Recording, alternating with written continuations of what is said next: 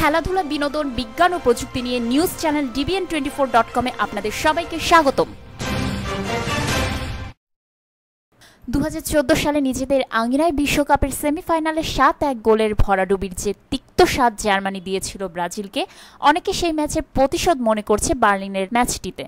কারণ এবার যে জার্মানি মাঠে তাদেরকে হারানোর সুযোগ ব্রাজিলের সামনে কিন্তু ব্রাজিলের ফুটবলার থিয়াগো সিলভা সেই ক্ষত মনে রাখতে চাইছেন না। রাশিয়া বিশ্বকাপের আগের প্রীতি ম্যাচে তাই প্রতিশোধ নেওয়ার কিছুই দেখছেন না তিনি। তার মতে, ব্রাজিল যদি জার্মানি বিপক্ষে প্রতিশোধ নেয়, তবে তা নেবে রাশিয়ায় ফুটবলের বিশ্ব আসরে। থিয়াগো অবশ্য দু হাজার চৌদ্দ সালে বিশ্বকাপে জার্মানির অধিনায়ক ফিলিপ লামের কথাটা একটু ঘুরিয়ে বলেছেন। দু হাজার চোদ্দ সালে বিশ্ব চ্যাম্পিয়নের অধিনায়ক লাম মিনোইরোর ড্রেসিং রুমে বলেছিলেন, ব্রাজিলের বিপক্ষে সেমিফাইনালে ম্যাচটা ছিল বারো বছর আগের হারের প্রলেপ। লাম কোন কথা বলেছেন? ফুটবল নিয়ে যারা সামান্য খোঁজ খবর রাখেন, তাদের জন্য বোঝা কঠিন না। দু বিশ্বকাপের ফাইনালে জার্মানিকে দুই শূন্য গোলে হারিয়ে শিরোপা উঁচিয়ে ধরেছিল রোনালদো ও রিভালদোরা। লামদের আগের প্রজন্মের ফুটবলার অলিভার কানচেন্স জার্মিসদের হারের প্রতিশোধ বলে এই ম্যাচকে উল্লেখ করেন তিনি। তবে জার্মানিতে কোটিনহো পাউলিনহোর প্রতিশোধের জন্য যাচ্ছে না বলে জানান থিয়াগো সিলভা।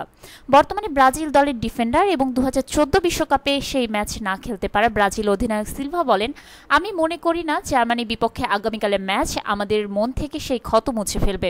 এটা ফুটবল। এই খেলায় সবসময় প্রতিশোধ নেওয়ার জন্য সঠিক উপলক্ষ এসে যায়। সেটা কখন কীভাবে আসবে তা কেউ বলতে পারে না। শুক্রবার রাতে বিশ্বকাপের প্রস্তুতি ম্যাচ শেষে রাশিয়াকে তিন শূন্য গোলে উড়িয়ে দেয় দলের প্রাণভোমরা নেইমারকে ছাড়া খেলতে নামা ব্রাজিল।